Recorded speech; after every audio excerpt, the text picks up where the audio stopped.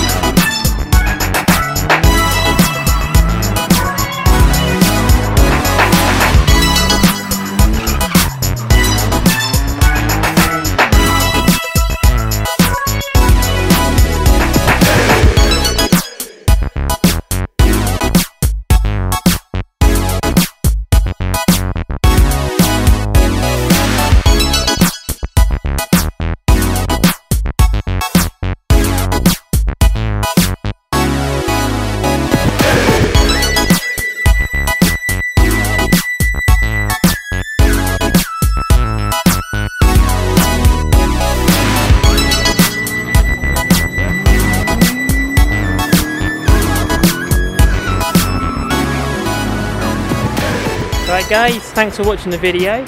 Um, we're actually at the beach now, the little town right next to it. Hi. There's Kevin. Um, yeah, so the day went, it was quite fun. Um, yeah, I think once I've had a bit more practice on the other tracks, I should be able to be alright there. It's just it's quite a bit intense because it's quite, as you can see from the videos, a lot of like missile cars there as such.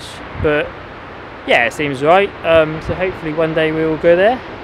Um, yeah, well, thanks for watching, and I'll see you later.